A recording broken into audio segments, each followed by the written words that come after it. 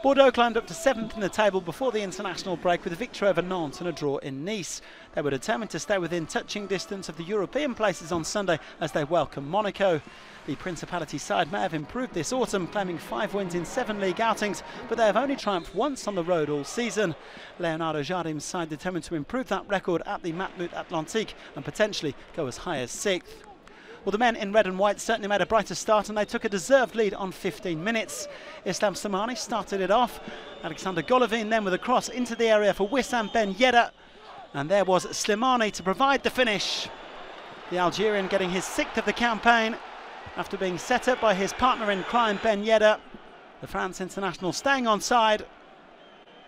And that was 1 0 to the visitors with 15 minutes gone.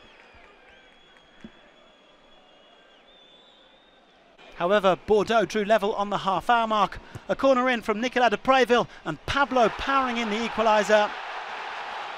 The Brazilian defender getting his third goal of the campaign. All of them from set pieces, his previous efforts against Brest and Toulouse.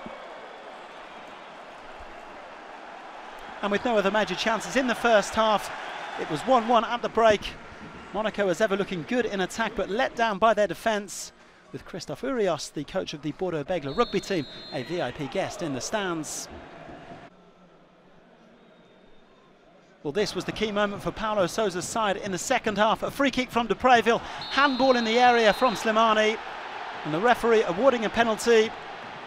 To add insult to injury for Monaco, Slimani was also given a second yellow card. So the visitors down to 10 men. And de Préville celebrating his 200th game in Ligue 1 Conforama with a 42nd goal.